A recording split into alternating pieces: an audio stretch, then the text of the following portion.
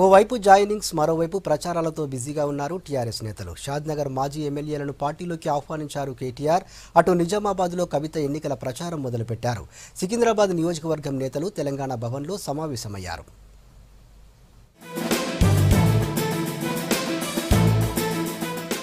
అభివృద్ధి కోసమే ఇతర పార్టీల నేతలు టీఆర్ఎస్లో చేరుతున్నారన్నారు ఆ పార్టీ వర్కింగ్ ప్రెసిడెంట్ కేటీఆర్. తమకు అన్ని వర్గాల మద్దతు ఉందన్నారు. షాద్నగర్కు చెందిన మాజీ ఎమ్మెల్యేలు ప్రతాప్ రెడ్డి కిష్టయ్య టీఆర్ఎస్లో చేరిన సందర్భంగా తెలంగాణ భవన్లో ఆయన మాట్లాడారు.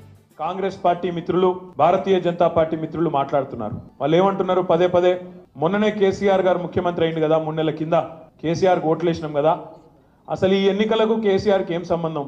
పార్లమెంట్ ఎన్నికల్లో అయితే రాహుల్ గాంధీ అవుతాడు ప్రధానమంత్రి లేకపోతే నరేంద్ర మోడీ అవుతాడు కేసీఆర్కి ఏం సంబంధం అని మాట్లాడుతున్నారు. కాంగ్రెస్కు ఓటేస్తే రాహుల్ గాంధీకి లాభం బీజేపీకి ఓటేస్తే నరేంద్ర మోడీకి లాభం టీఆర్ఎస్కు ఓటేస్తే తెలంగాణ గడ్డకు లాభం అనే మాట గట్టిగా గ్రామ గ్రామాన చెప్పవలసిన అవసరం ఉంది.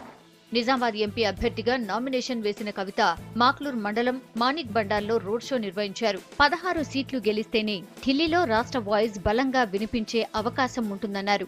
రాష్ట్రానికి రావాల్సిన నిధులు వస్తాయన్నారు. ఇవాళ బీజేపీ పార్టీకి సంబంధించిన నరేంద్ర మోడీ గారు ప్రధానమంత్రి ఉన్నారు. ఆయన గుజరాత్ రాష్ట్రం ఆయన.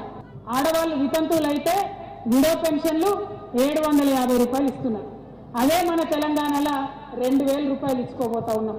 మరి బీజేపీ కావాలన్నా టీఆర్ఎస్ కావాలన్నా తప్పకుండా మిమ్మల్ని మాట్లాడుతున్నటువంటి వాళ్ళందరూ కూడా ప్రశ్నించవలసిందిగా కోరుతా ఉన్నా. అదే కాంగ్రెస్ పార్టీకి సంబంధించి ఒక నాలుగైదు రాష్ట్రాలు ఉన్నాయి. అక్కడ ఎక్కడ కూడా మన లెక్క పెన్షన్లు ఇచ్చిన పరిస్థితి లేదు. ఎక్కడ కూడా బీడీ కార్మికుల గురించి అడిగిన పరిస్థితి లేదు.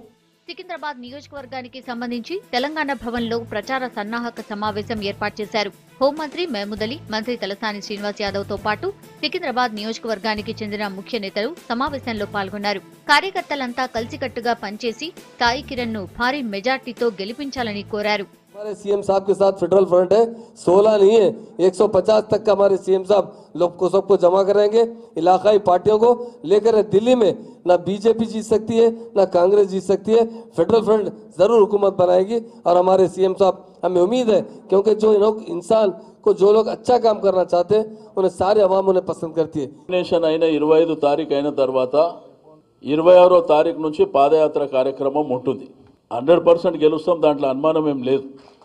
దాంతోపాటు ఎక్కడ కూడా ఓవర్ కాన్ఫిడెన్స్ లేకుండా మనము మనమే ఒక్కొక్క క్యాండిడేట్ కింద భావించి మనం ముందుకు వెళ్ళాలి ఒకటి. రెండోది ఏంటంటే ఈ దేశంలో ఇంతకంటే బ్రహ్మాండమైనటువంటి పరిపాలన ఎవరు ఇయర్ ప్రజల కోసం ఇంత డెప్త్గా ఆలోచించినటువంటి నాయకులు ఎక్కడ లేరు దేశంలో. నామినేషన్లు వేసిన నేతలు ప్రచారంలో స్పీడ్ పెంచారు. మిగతా అభ్యర్థులు ప్రచార ప్రణాళికల్లో బిజీగా ఉన్నారు.